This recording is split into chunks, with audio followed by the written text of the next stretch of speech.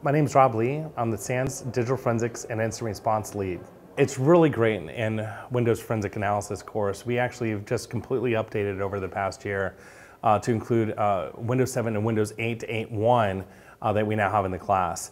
There's a lot of new technologies that have been released in the Windows operating system, specifically to aid in data synchronization across all of its devices and platforms, such as Internet Explorer 10 and 11 will have uh, history synchronization and tab synchronization across multiple computer systems if you're logged in. Same with Chrome and Firefox. The ability to go through shell bag analysis and shell item analysis in Windows Forensic Analysis is a brand new cutting edge technique that a lot of people have done research on uh, that we're teaching in full how to analyze these new uh, capabilities.